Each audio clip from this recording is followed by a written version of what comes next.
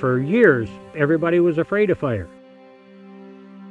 You have to respect fire, but you don't have to be afraid of it. And that really kind of leads into the ecology of the, the prairie. You know, the, the prairie or the grasslands. Why do we have the, the grasslands? It's a function of three things. It's climate, and um, the grazing animal, and it's fire.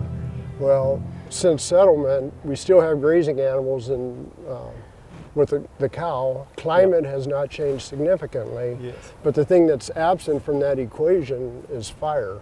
Fire can be beneficial if it's used correctly.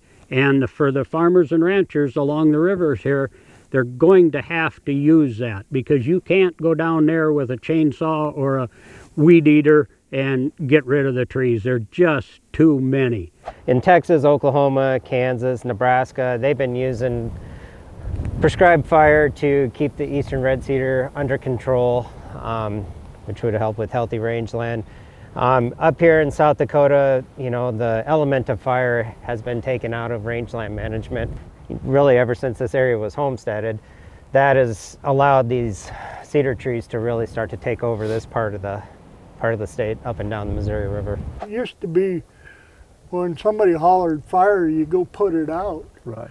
But now they've learned how to kind of control it and and do what what you want it to do. Mm-hmm. And and some people haven't grasped that yet. Right, right. So I think fear is probably the biggest thing with a lot of it. Prescribed burning is definitely new in South Dakota, and it's, you know, it still can be a naughty word in a lot of parts of the state, and even in certain areas around here yet. A big part of the fear is what if the fire gets away?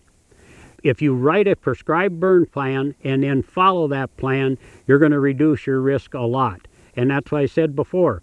I think it's time we take a calculated risk at it, do everything we can to mitigate the danger of it getting away, and then go ahead and do it.